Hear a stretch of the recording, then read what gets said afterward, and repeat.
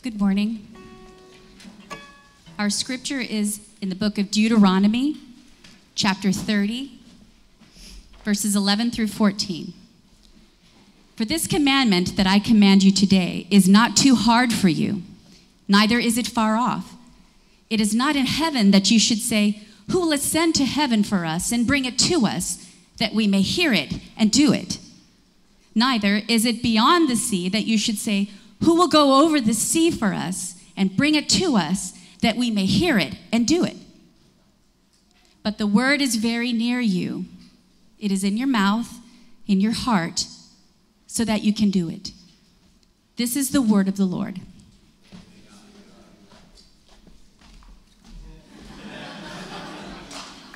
A little bit better. You want to try it again? This is the word of the Lord. Well done. Well done. You know what? Baby steps. We're working our way up. Um, man, I, I'm so excited to be able to preach to you this morning. I'm going to say at the very outset, this one's going to be different. It's going to feel different.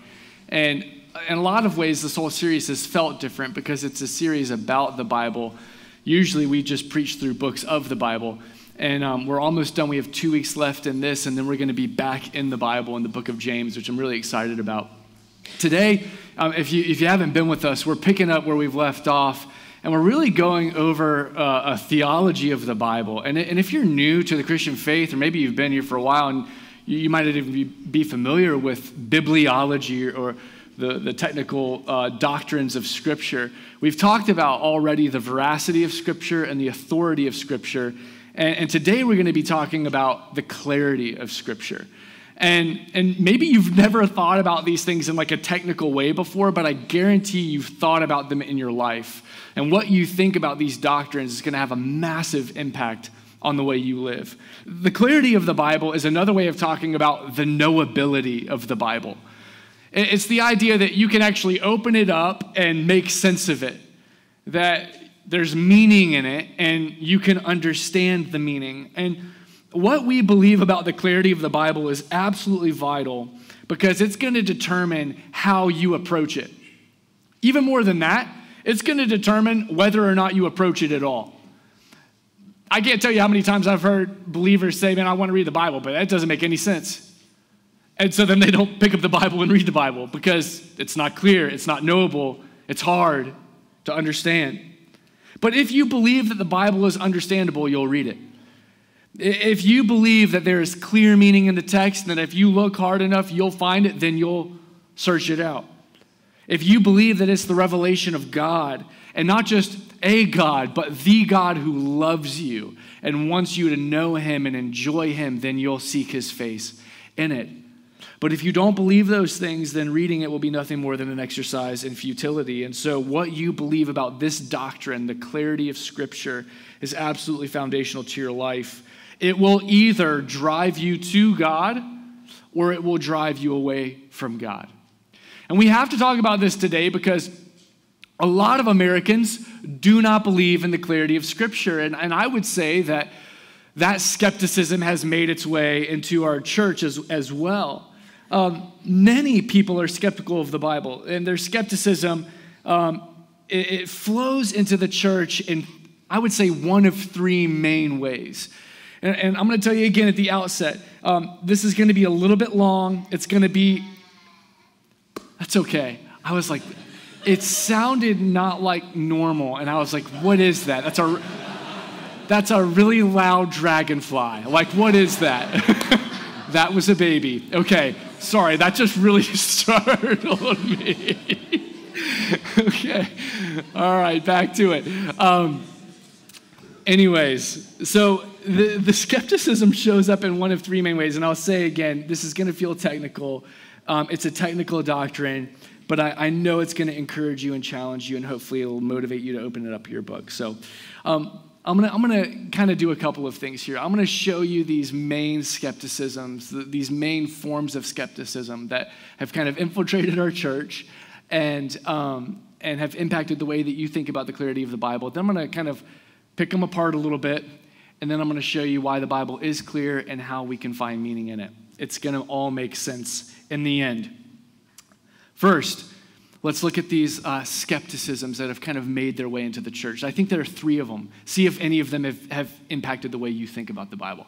The first one is what you could call a mystical skepticism. And mystical skepticism basically views God as so transcendent and so other and so big that he can't be described in human language. That the moment we try to put words to a transcendent God and we try to describe him and define him in clear theological categories is the moment that we put him in a box.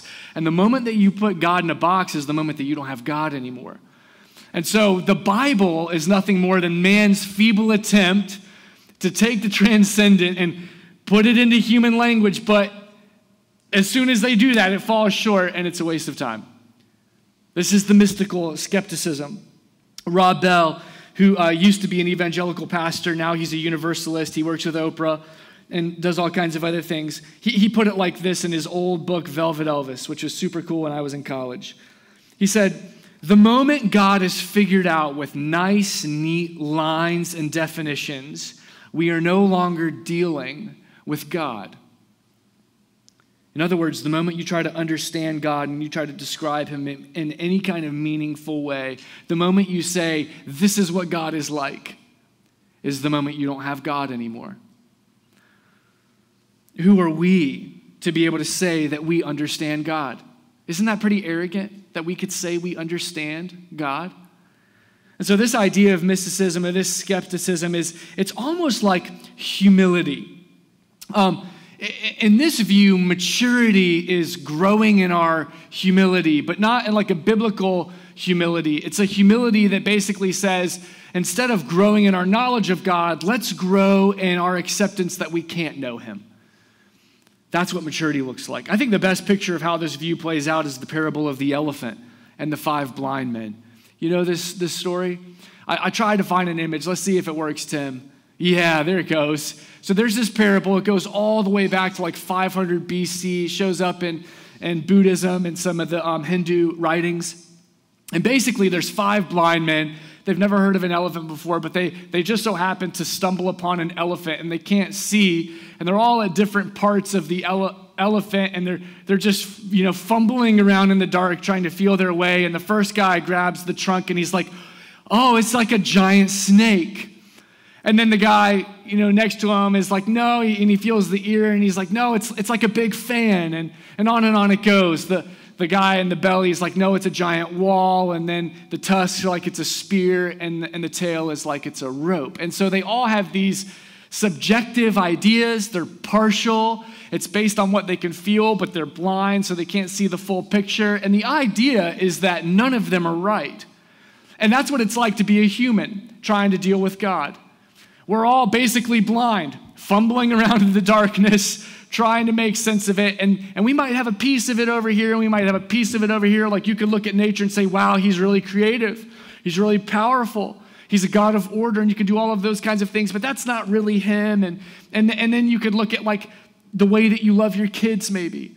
And you could think, wow, there must be something of love in him because why do I love him like that? And you can come to some ideas, but even that's not really like him either. And so, this idea is that true humility is owning the fact that you're blind and you're nothing more than blind. And you can't know the God who created you. That's the mystical skepticism. Now, let me ask you a question to go back to that analogy. What if the elephant could talk? Wouldn't that change some things? Like, even more importantly than that, what if he could talk and he wanted the blind men to know who he was and what he was? And so they're fumbling around in the darkness saying things like it's a rope and it's a spear, and, and he would chime in and correct him. He's like, No, no, no, I'm an elephant. And then the other guy's like, No, I'm pretty sure you're a fan. And, and he's like, No, that's just my ear. You're still wrong. I'm an elephant. And on and on it goes. And every time they give an idea, the elephant speaks because he can talk and he, he tells them what he actually is. Wouldn't that change the analogy? Of course it would. If the elephant could talk, everything changes. And so the mystical view becomes less about being humble and more about being hard of hearing. Yeah, there are all kinds of mysteries wrapped up in God. No, we cannot know him exhaustively. No, we cannot know him comprehensively or completely, which means we'll never arrive at a point where we say, I figured him out. There's nothing else to learn. I've plumbed the depths of God. I've finally reached the bottom. There is no bottom with God. We'll never get to that point. Uh, which, by the way, just a side note, that's going to be one of the greatest thrills of heaven. I know a lot of people are like uh, terrified of heaven because, like, what am I going to do for all eternity? It's just going to be so boring. Um, and, and, you're like, I'm just to be playing a harp in some room with a bunch of other people playing harps for millions and billions and trillions of years. Like, I don't want to go to heaven. Um, and and, and this we don't understand about heaven is that, um, do you know why kids love life so much? Do you know why there's so much awe and wonder and happiness and joy and everything is magic for kids? It's because every single day for a kid, they're experiencing something for the first time. There's something new that they discover and explore. So, like when I watch my three year old get in, get in the horse trough that we've turned into a pool, okay, which I've told you about several times, the joy and the wonder and the thrill of that horse trough, the water comes up to like right here, okay? But you would think that she was like swimming in the Niagara or like with dolphins. I, they're not there. Uh, you know what I mean? Um, and, and, and she's constantly finding new things, and so she's constantly wanting to show us new things, and it's the most annoying thing in the world. Dad, look at this. Dad, look at this. Except she doesn't say, Dad, look at this. She said, How about this? How about this? How about this? And then she'll like hold the edge of the pool and do her little foot like that. And she's like, Did you see that? Like, This is not that cool. Um, but this is the reason that kids love life so much. It's because every day there's a new adventure, there's a new discovery. Guys, that's what heaven's gonna be like for us. Every single day there's gonna be a new adventure and a new discovery. Since God is infinite and He's infinitely great and infinitely glorious and infinitely beautiful, every single day we're gonna see something new about Him and it's gonna blow our minds and it's going to be like, I cannot believe that. And we're going to tell all of our friends, and we're going to join in community, which adds to the joy because community is what we were made for. And we're just going to, that's what worship looks like. We're not going to be playing harps. We're going to be exploring the new heavens and the new earth and the God who made it, and we're going to learn something new every single day. And we're never going to get to the point where we say, there's nothing else. Every single day. Isn't that cool? Okay, so that's a side point. My point here, as it relates to the Bible, is that God is infinite, and so we can't know him completely. But what I want you to see is that even though we can't know him ex- exhaustively, he can be known truthfully. He can be known rightly, correctly. You can say something about God that is true, even if it isn't totally complete. So you can say something like, God is love, and understand it, and it's a true statement and for all eternity, grow in your understanding of what that means. That makes sense, right? So, from one degree of glory to the next, for all eternity, we're going to be pursuing Him and enjoying Him. It'll never stop. We can describe God in a truthful way because God has described Himself to us. We can talk about who He is and what He's like in our own language because He revealed Himself to us in our human language. Do you know what Jesus is called in John 1? The Word. In the beginning, God, or the Word was with God and he was and he was God and he spoke all of creation into existence and then that word took on flesh and dwelt among us so that he could show us what God is like. And Jesus says, if you have seen me, you have seen the Father. You have seen God. God loved us so much that even though we were blind and we were fumbling around in the dark, He didn't leave us there. He spoke. As Psalm 18 says, You, Lord, keep my lamp burning. My God turns my darkness into light. Psalm 119 says, Your word is a lamp to my feet and a light to my path. Jesus says in John 8, I am the light of the world. Whoever follows me will never walk in darkness, but will have the light of life. Guys, Cheryl just read Deuteronomy 30. Right before that, Deuteronomy 29 29, it says this The secret things belong to the Lord our God, but the things that are revealed belong to us and to our children forever, that we may do all the words of the law. In other words, there are secret things about God, and they belong to Him, and we can't grasp them. But there are some things that He has revealed to us, and those things can be known, they can be on our lips, and we can obey them. Deuteronomy 30 says the same exact thing. It's not too high, it's not too far. You don't need to say, oh, it's in heaven and I can't get there. No, it can be on your lips, it can be on your heart, and you can do it. So we know him not completely, but we know him truthfully because he's revealed himself to us. The elephant has spoken, God has made himself known. So, another, that's the first, uh, um, I guess, type of skepticism is mystical. The second type of skepticism is Catholic. When I say Catholic, I'm talking about Catholic proper, like the Roman Catholic Church.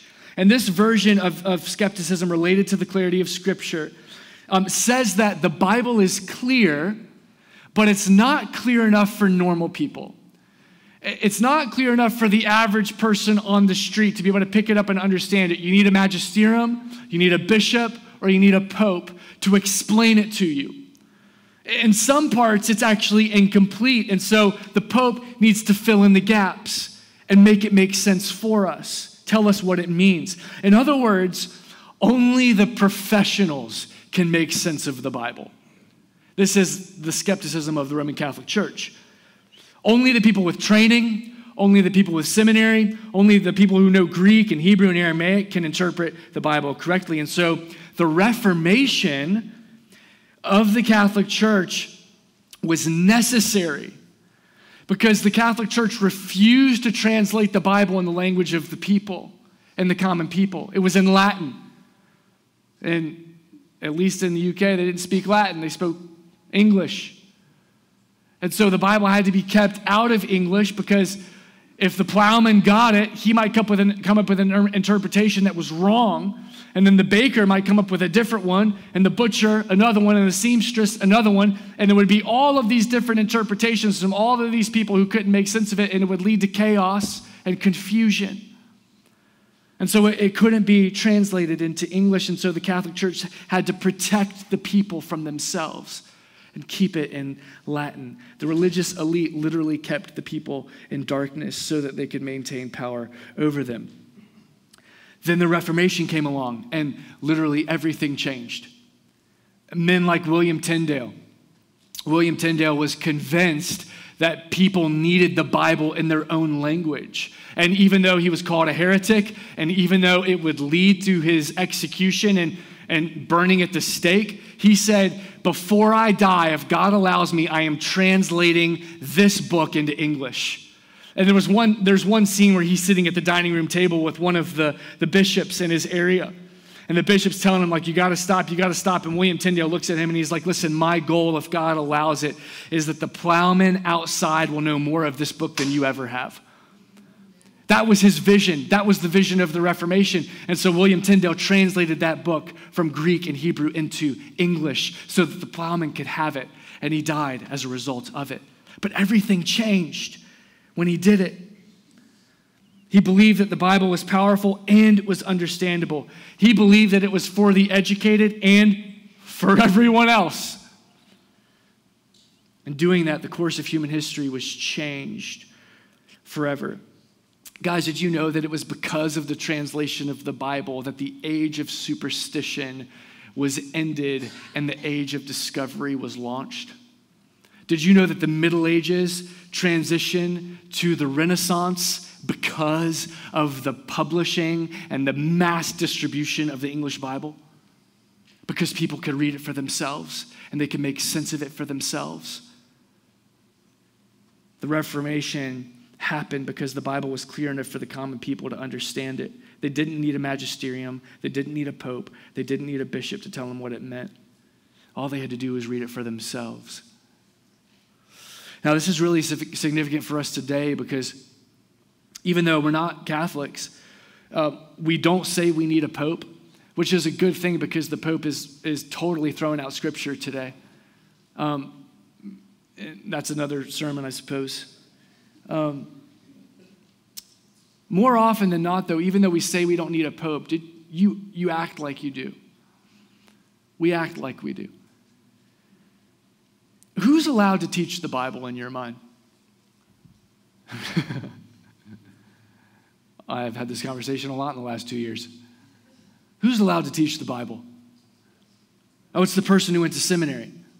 Who's allowed to lead the Bible study? It's the person who can articulate the doctrines of grace and quote Calvin and Luther. Who's allowed to disciple other people? It's the person who's, I don't know, read the works of Keller or, or Piper or whatever it is, who, who it is that you like. Listen, we say we believe in the clarity of Scripture, but we act like it's clouded. And I know this is true. We say we don't need a pope, but we depend on professionals. Um, because I cannot tell you how many times people have come to me and they've held out their Bible and said, Make this make sense for me. I'm happy to do it. I love to do it. In fact, part of my job as a shepherd is to feed the sheep. That, this is the greatest joy of my life. That's what I'm doing right now. I'm feeding the sheep. This is great. Uh, Jesus is walking with Peter after his resurrection. He's calling him to pastoral ministry, and it's not to a platform, and it's not to fame, and it's not to a book deal. He just says, Feed my sheep, feed my sheep, feed my sheep, and then you're going to get hung up on a cross. That's the call to pastoral ministry. So I love feeding the sheep. And yet at the same time, it breaks my heart because I know what's being communicated to me is a belief that you can't make sense of it on your own. You don't believe in the clarity of the Bible. And so, in those moments, I'm happy to feed, but more importantly, I'm happy to teach you how to feed yourself. Teach you how to feast on the Word of God so that you don't need me. You don't need a pope. You don't need a pastor. You can open it up and hear from Him yourself. Finally, the last example of skepticism this is the intro. We're going to get into it in a minute. The last example of skepticism is, um, is pluralism. And I would say that this is the most significant one of our day. I would say that this one is the most dangerous because it rings the most true to our postmodern sensibilities as Americans. This is basically what it does. See if, if you don't see this in yourself. There are so many interpretations on so many different things, especially the secondary things. There are so many different denominations. There's so many splits and so many views in Christianity today. How in the world could the Bible be clear if nobody can agree on anything? It's pluralism. How can there be cessationists and continuationists? How can there be Calvinists and Arminians? How can there be complementarians and egalitarians? And on and on and on the list goes dispensationalists and covenantalists and, you know, all of the fun stuff. Guys, every single week I get up in front of you and I preach my heart out. And sometimes I yell. Sometimes I cry. And if I'm really serious, I whisper. And I'm like convinced and I'm full of passion and certainty that what I'm telling you is what the Bible says. And yet, if you leave here and you drive down South Boulevard, you're going to pass five churches that are going to say something different than me. How do I know I'm right? How do you know I'm right? You know what I mean? This is a big question. They're just as passionate. They might not cry as much, but they might whisper every once in a while. Just as certain that what they're saying is true. And so the question is, what are we supposed to do with that? How does this make any sense? How does it not make everything I'm telling you nothing more than my opinion? How do I not know that we're just in an echo chamber right now and you chose to come to this church because I'm telling you what you already believe? These are good questions, by the way. They're important questions.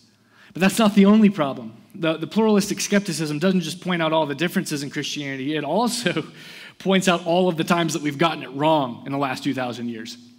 So, not only are there tons of different views and all kinds of differences, but for the last 2,000 years, we've interpreted Scripture in ways that have justified evil. Like you look at a guy like Martin Luther, a great reformer of the Catholic Church, we sing his songs to this day, A Mighty Fortress is Our God, and yet he read scripture and used it to justify anti Semitism. That's wrong because then later on, he was a German. Later on, Hitler came along and he used Martin Luther's writings to justify the final solution. That's messed up. He was wrong and it was misused. Slavery, misogyny, anti Semitism, the Crusades, on and on it goes. And so the pluralistic question for you and me today is how do you know you're not getting it wrong today? There are countless examples of disagreements and countless examples of error. Wouldn't it be better just to not take a position on anything? Wouldn't that be safer? To just question everything? Wouldn't it be wiser to hold everything with an open hand and never arrive at a point of certainty about anything? This is the kind of skepticism that is in the process of ransacking the church in America right now. This is the kind of skepticism that is in the process of shipwrecking countless people's faith right now. And if you don't answer this question, it will shipwreck your faith too. And so, what are we supposed to do with these questions? There are a lot of answers. I would say the best and the safest and the wisest place to start is always with Jesus himself. You see, Jesus was constantly teaching and preaching and quoting scripture. And at the same time, the crowds were constantly mishearing him and misinterpreting him and misunderstanding what he was saying. And yet, what's so important for us to see about Jesus, and I'm going to show you a lot of these examples, is that he never takes the blame for the misuse. He never takes the blame for the misunderstanding and the misinterpretation. He never apologizes for being unclear. In fact, he never concedes that the people's lack of understanding is the scripture's fault. He always confronts some fault in his audience and says, if you're not getting it, it's because of something in you. He calls them out for things like traditionalism and dullness and blindness and pride and foolishness and even stubbornness and sin. In other words, Jesus would say, it's not the scriptures that are muddled, it's you. It's not the scriptures that are clouded, it's your heart and it's your mind that's messed up. For example, let me just give you a bunch of these. Matthew 13, 15. This is Jesus. The people's heart has grown dull, and with their ears they can barely hear, and their eyes they have closed. I should have these texts. Matthew 16, 11. Do you still not perceive? How is it that you still not under, don't understand? that I'm not talking about bread. Mark 7 13. You make void the word of God by your, get this, tradition that you've handed down. What makes void the word of God? Is it, is it not clear? No, it's not that it's not clear, it's that we bring our tradition into it. Luke 24. O foolish ones, and slow of heart to believe all the prophets have spoken. Wasn't it necessary that Christ should suffer these things and enter his glory? In other words, guys, the prophets spoke this stuff. You have the prophets. You should have understood it, but you didn't because you're foolish. It's not their fault. They were clear. It's, it's something in you. John 3, and this is the judgment. The light has come into the world. The people loved darkness rather than the light. We loved the blindness. And so the elephant's speaking to us, God's revealing himself to us, and we're like, no, I don't want to hear it. I want to think you're a fan. Because if you're a fan and not an elephant, I get to do whatever I want. They loved the darkness, and so they rejected the light. John 5, it's the scriptures that bear witness about me, yet you refuse to come to me that you may have life. The scriptures are clear. They bear witness about me. You just refuse them. John 8, finally, last one. Why do you not understand what I say? It's because you cannot bear to hear my word. Guys, Jesus never blamed the Word of God for being unclear or confusing or obscure. Instead, he always pointed to traditionalism and dullness and blindness and foolishness and stubbornness and sin in the hearts and the minds of his listeners. And so the point is when we are going to the scripture, it's clear but our hearts aren't, and our minds aren't. And so there's a risk there. This means I might disagree with you about spiritual gifts.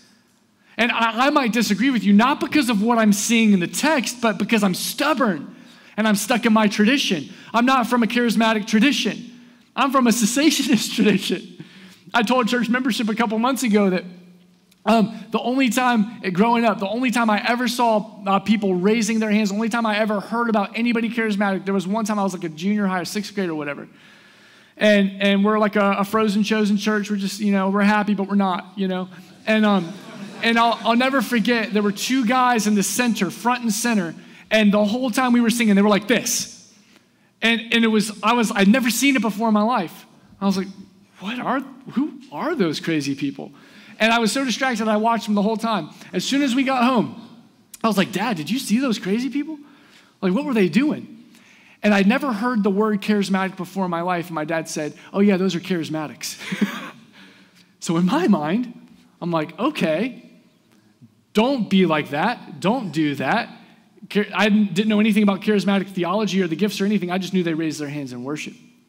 So I went through seminary. I had, I had, to write my position paper on spiritual gifts. What do I think about them? And, and I, I had my, all my books. And, and my favorite book when it comes to like interpreting scriptures is, is a series called Four Views. And, and it's people who are evangelical and they're, and they're, they're, they're saved. Let's just call them that. We're all going to be in heaven together. But they interpret scripture differently. And so there would be a view on cessationism and there would be a view on like just Pentecostalism and open but cautious and all this kind of stuff. I went to those books because of my stubbornness and because of my tradition, and I didn't read the other views. I just read my view so that I could get my proof texts, so that I could write a paper based on what I wanted to believe, not based on what the text said. So now I'm well into ministry, and I would say it was probably about three years ago, it hit me. I was like, what if I'm wrong? And I was like, what if I've just carried my tradition with me and I haven't given it a second thought? And so when we landed in Charlotte about, I guess it was five years ago now, wow, time's flying by. COVID screwed it up, man. Wow. Five years ago, I told Caroline, I was like, we're going to a charismatic church and we're just going to deconstruct, like, not my faith, but I want to just like be in a different church. And all we sang was Bethel and we were healing people and, and people were pumped and they were face down in the front row and, and I was just like, what is true? What is biblical? And what is my tradition? And where, where, and I'm still in this process of learning and growing. And then I met some guys in this church that have come and we've sat around fires. And I love it. The first question is always like, what do you think about spiritual gifts? And, um, and my first response is, what do you think about it? I want you to tell me what you think. Um, I want to hear your experience. I want to know how you read these passages because I'm in process right now. I might disagree with you about the end times, but maybe, just maybe, it's because I'm ignorant, or maybe I'm naive. You might disagree with me about God's work in salvation because you're too proud. You might disagree with me about some ethical requirement or command because you're afraid of what people will think or you just don't want to give up your sin. The point is this the problem of interpretation and understanding is on you and it's on me. It is not on God. And it's not on His Word. It's clear. The reason we have so many disagreements is because we've got so much baggage. All throughout Scripture, there is an expectation that we can know the Word of God and that in knowing, we can obey it. And in obeying, we can have life. It makes wise the simple. Psalm 19, it leads to everlasting life. John 20, it's profitable for correction and reproof. 2 Timothy 3, wherever it goes, it accomplishes what it sets out to do. Isaiah 55, over and over and over again throughout Scripture, we see examples of the clarity and the knowability of the Word of God, even when it comes to secondary things. Can I tell you a fun story about Jesus? I know you're so nervous because we're still in the intro. Um, Matthew 19. Pharisees come up to Jesus because they want to test him, they want to put him on the spot. They want to try to get him to make a mistake. And so they ask him a question about a secondary issue that's debatable in their culture, and it's the issue of divorce. And so they come up and they're like, hey, what do you think? Do you think that it's lawful for a man to divorce his wife for any reason? Now, this is so fascinating as a case study for us and what we're supposed to do about secondary issues and debatable things as it relates to Scripture. Because in that culture, there were a lot of different views about divorce. One view believed that it was never okay. One believed it was okay on extreme circumstances, and one believed that it was okay on a lot of different circumstances. And you can see they're trying to trip up Jesus. Do you know what Jesus does not say to these people? He doesn't just say, well, let's just leave it up for interpretation. You know what? You do you, and you do you, and you do you. It's all okay. Agree to disagree. He doesn't do that. You know what he says?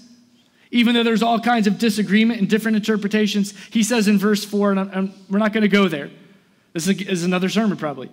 He says in verse 4, Have you not read? And then he goes back to Genesis. So, how does he answer the debatable thing? How does he deal with the secondary issue that lots of different groups have views on it? He answers it by going to Scripture. And he says, Have you not read? This is a case study for us. In other words, there's a right answer to the question, and the right answer is in the text of Scripture. The reason there's a debate isn't because there isn't an answer in the Bible, it's because we haven't read it correctly yet. Are you following me, guys? Okay. Now, the big question becomes if the Bible is clear, sorry, this this cord is driving me nuts. Um, just fix this real quick. Oh, okay. The big question now becomes if the Bible is clear and we're the ones who are muddled, how are we ever supposed to study it? And how are we ever to hope that one day we'll arrive at the correct interpretation? How are we supposed to know if we're on the right side? if we haven't been blinded by our tradition, or pride, or group, or, or whatever. How am I supposed to stand up in front of you and say, this is what the Bible says with any level of certainty? In other words, if there's clear meaning in the text, how are we supposed to find it? Now, there are six principles that I'm going to show you. We're getting into the sermon. But before you get nervous, I'm not going to show you all of them today.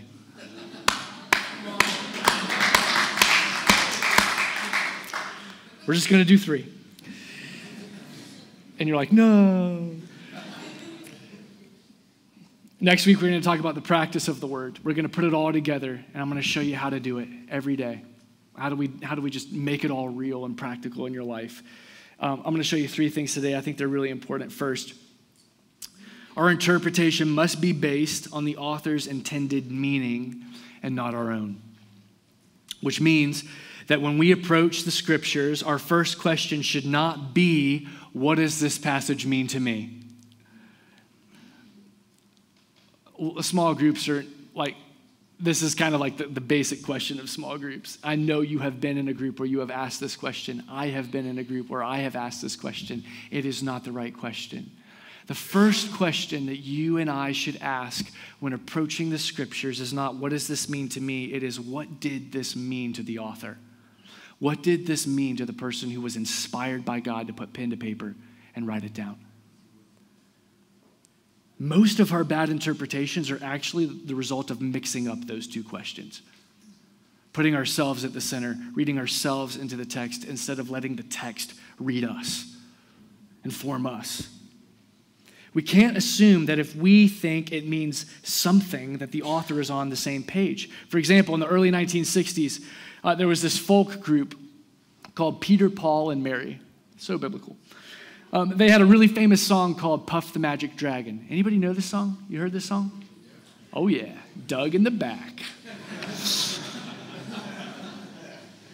now, in the 60s, drug use is on the rise, as you know, I'm sure. Um, especially in artist communities. A lot of people believe that this song was about smoking marijuana. And so the magic dragon was supposedly a reference to weed, and to puff the magic dragon was essentially like lighting up and smoking a joint. And this is what the song was about. It was like the anthem of the 60s Puff the Magic Dragon. Um, and it became famous. Then 30 years later, Peter, Paul, and Mary got back together. They did a reunion tour. Everybody cannot wait for Puff. They got their stuff ready to go, and it's going to be epic. And, and before they sing the song at the very end of the show, Peter gets up to the mic and he's like, Listen, I need to tell you something. This song is not about marijuana. The magic dragon is not what you think it is, and puffing on it is not what you think it is either. In fact, it's just a song about a little boy who has a pet dragon and he's growing up and he's leaving childhood and he's really sad about it. And I know because Puff is my son. And everyone was like, What?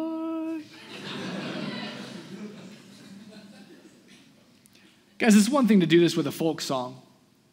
You know, you can read whatever you want into music or paintings. You stand in front of the painting and you're like, this means this to me, and it's art, you know, and it's subjective, and, and that's kind of cool. Um, it's another thing to do it with the authoritative Word of God. It's dangerous. And so we need to do the hard work to find the author's intended meaning. Now, listen, sometimes the work is easy. Sometimes it just jumps off the page and it smacks you in the face, and you're like, oh, that, that makes sense. And then sometimes it's a process and it's more difficult and it takes work.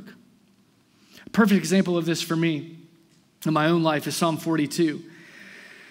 Psalm 42 is a psalm that I love. It's a psalm that I've read countless times.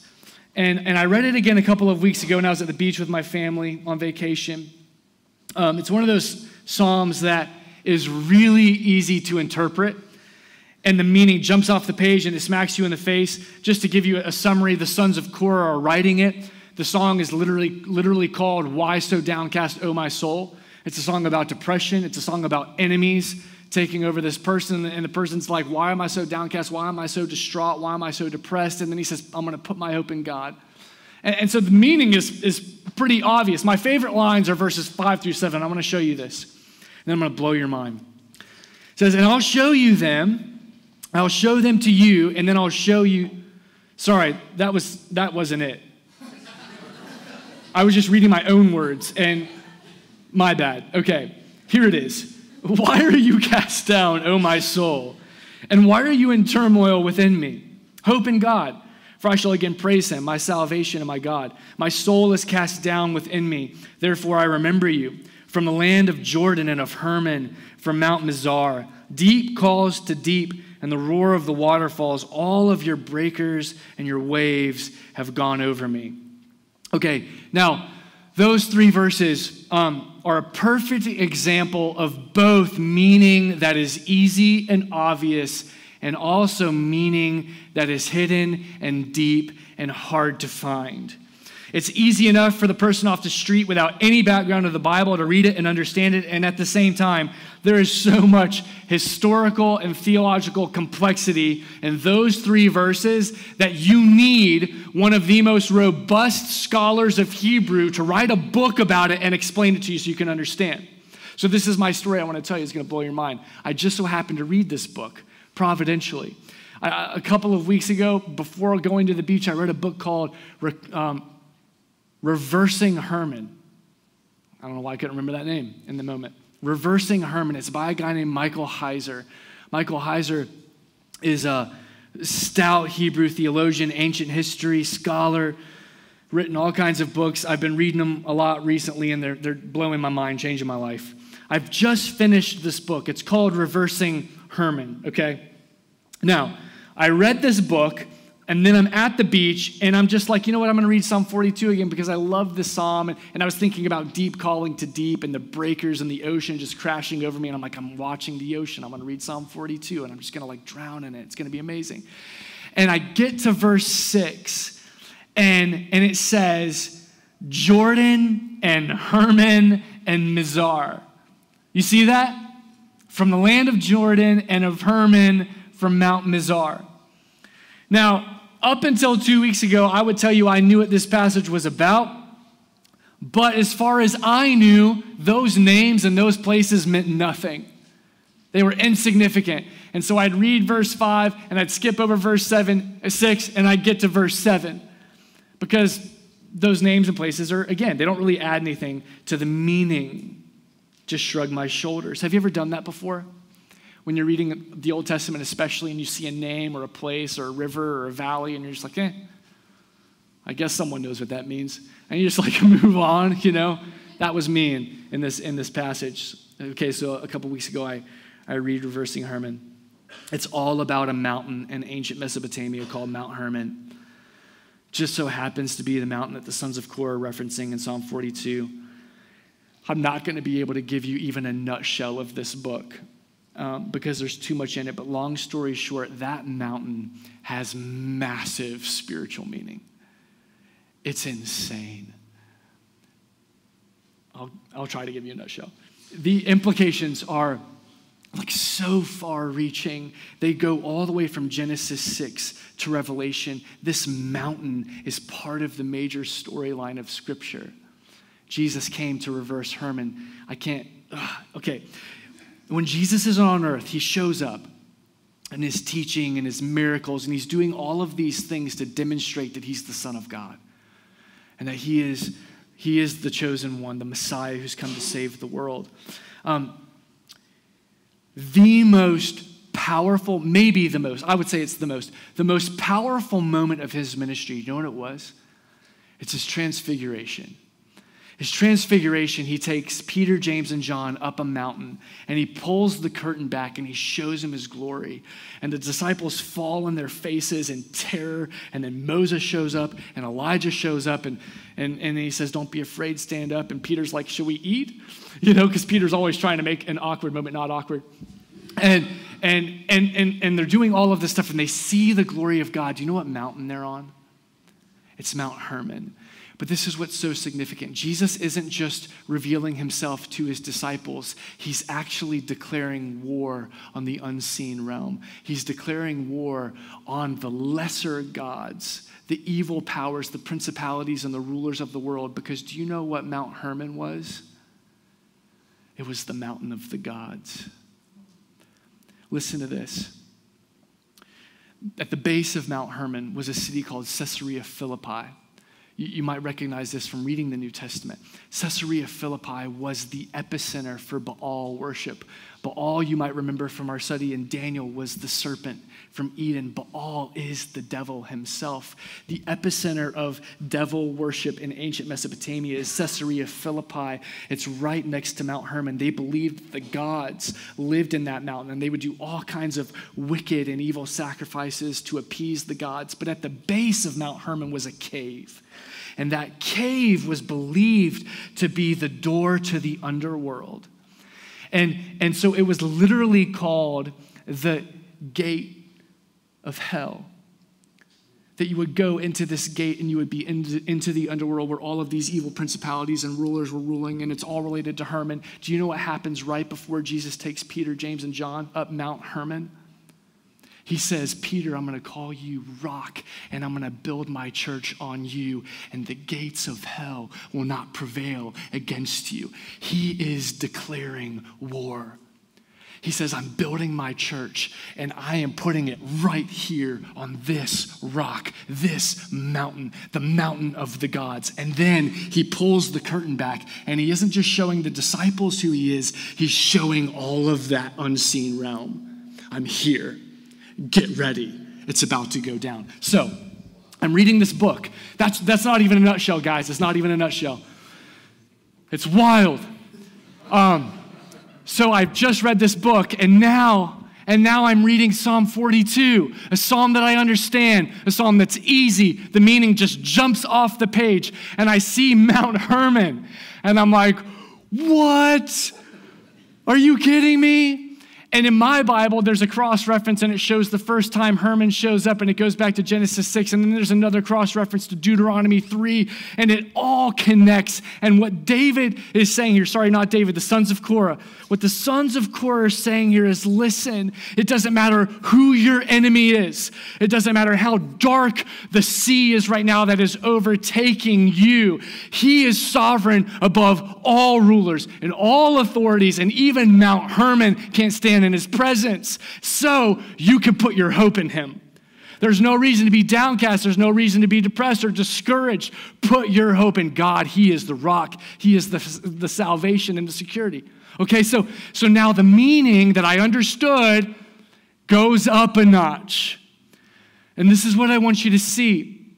The more we know the author's intended meaning, the more we're going to interpret this thing correctly. And so we need scholars. You actually do need me to spend 20 hours a week studying so that I come up and I, I, I tell you what the Bible says based on study and work so I can feed you what is true. But here's the thing, too every resource that I have access to, you've got access to. And, and Caleb has built a resource page on our app. If you just go to the Bible page on our app, there are endless resources for you that He has curated so that you can know everything that I know and so that you can see everything that I see. So all I can say is pick it up and read it. Okay, well, let's move on. 11:19. All right. Um, Manchester United started in 19 minutes ago. Last game of the season. Our interpretation must be done in the context of the passage. So every passage has its own author, audience, setting, occasion, language, genre, and the list goes on and on. If we try to pluck a verse out of its context, I can almost guarantee you 9.99999 times out of 10, you're going to get it wrong. This is why Bible studies are so helpful that, that have like the notes in them, the, the, the study Bibles, you know what I'm talking about? The thick ones. Get the thickest study Bible you can get. You're not going to bring it to church, it's too heavy.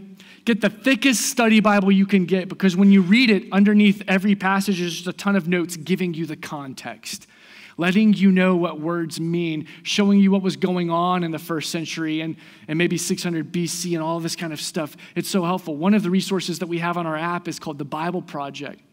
Tim Mackie is one of those Hebrew scholars. He's one of those Old Testament scholars who's just a beast. And he makes all of these really cool animated videos and he breaks it down for you. And you can watch a video in three minutes and it's going to blow your mind. It's going to change the way you read the Bible because it's going to give you context. One illustration of how important context is, is, is related to the text of the prodigal son. You know this story, and I'm going to talk fast and I'm going to fly through it. Um, the prodigal son in Luke 15 uh, there's, there's a detail in that story that most Americans never see. Most Americans never, like when we tell the story of the prodigal son, we almost always leave this out. And it, it's the detail of the famine. So in verse 14, it tells us why the prodigal returned home. And it says that he spent all of his money, and then there was a famine that swept the country, and so then he returned home. As Americans, we read, he spent all his money, and he had nothing left, so he came home. And we just forget about the famine. And so one seminary professor tried to do an experiment to demonstrate how our own context like hinders the way we read the context of, of the New Testament. And so he asked 100 seminary students to read the story of the prodigal son and focus on every detail, and then close the Bible, put it away, and try to retell it, mentioning every single detail that they remembered. 100 students, only six of them remembered the famine. Then he went over to St. Petersburg, Russia, and he did the same thing. And this time he found 50 seminary students in St. Petersburg, Russia. And he told him to do the same thing read the Bible, close it, and then tell the story with every detail. And every single one of them, except for eight, remembered the famine. Do you know why that was? Was because 70 years earlier, there was a three year famine in St. Petersburg and it killed 650,000 people. And so it was a massive part of their culture and it was a massive part of their imaginations. And so when they read the Bible, the famine is what stood out. Now, this is what's so important. You and I do not approach the Bible as clean slates. We have biases, we have traditions, we have imaginations that are informed by our culture. And if we want to interpret it correctly, we have to do our best to own that and acknowledge it and set those things aside so that we can see it in the context it was written. That makes sense, right? Okay. we've got to get into the world of the writer finally. You guys are awesome. and you've been paying attention so well. We're almost there. Our interpretation must let the clear passages inform the difficult ones. Sorry for that typo. Let the clear passages inform the difficult ones. Can I encourage you with something today? Some of the Bible's hard. And if you think it's hard, you're not alone. In fact, when the Apostle Peter was writing his letter to the church at Rome, it's so funny because he's talking about the writings of the Apostle Paul, and he says, Guys, some of it's difficult. some of it's really hard to understand. The Apostle Peter said that. So if the Apostle Peter's saying that about the Bible, it's okay to say some of it's hard. Um, I go to a passage like Hebrews 6, which talks about people walking away from the faith. And it's very confusing and it's very difficult because it sounds like you can lose your salvation. Hebrews 6 is one of those ones that stumps a lot of people. And yet, it's difficult to understand, but here's the principle. When you come to a hard text like Hebrews 6, find the clear texts and use them as commentary. Find the easy text, the explicit text, and let it explain the hard ones. There are so many clear texts about eternal security. There's so many explicit texts about people never losing their salvation. For example, John 5. Jesus says, My sheep hear my voice. They know my voice when I call them, and no one the Father has given to me will ever be lost. That's Jesus saying that. You, will never be lost. Romans 8 is another clear one. Those whom he foreknew, he also predestined, and those whom he predestined, he also called, and he justified. And those whom he justified, one day he will glorify, and nothing in heaven and on earth, not even yourself, can ever remove you from the love of God. That's as explicit as it gets. So you take the explicit ones, you take the clear ones that like just jump out and smack you on the face, and you take it to the hard ones and you let it interpret itself. That's the principle. You go to the book of James, which we're going to be starting in two weeks. I can't wait. We're going to see a lot of stuff about faith and works. And on the surface, it's a little difficult. It might even lead some people to believe that you are justified by good works. But the explicit teaching from passage after passage is that faith doesn't come by works. Faith is a gift that we receive by grace, works is the result of it. And so we let the Bible interpret the Bible for us. Listen to this the more you know of the Bible, the more you'll be able to interpret it correctly. The more you know of the Bible, the more you'll be able to interpret it correctly. It is a virtuous cycle. Listen, the Bible is clear. You can know it as you read it, you can understand it, and you can know the God who wrote it. As we saw last week, it's what leads to life and wisdom and peace and joy. It is simple enough for a child to grasp, and it is complex enough for the greatest theologian to dive into for the rest of his life and never plumb the depths of it. The most important thing for you and for me is to pick it up and read it. Amen? Okay, would you bow where you are and pray? Thank the Lord for his word. Thank him that it's clear. Ask the Spirit to illuminate you, to enlighten you so that you can understand it. If you've never believed before and you just have questions and you want to talk, I'd love to talk to you. If you're embarrassed to come and talk to me after this, on our app, you can just respond and say, Hey, I'd like to talk to someone, and I'll follow up with you. But pray where you are, and then we'll respond in singing together. And we'll go to the table as well.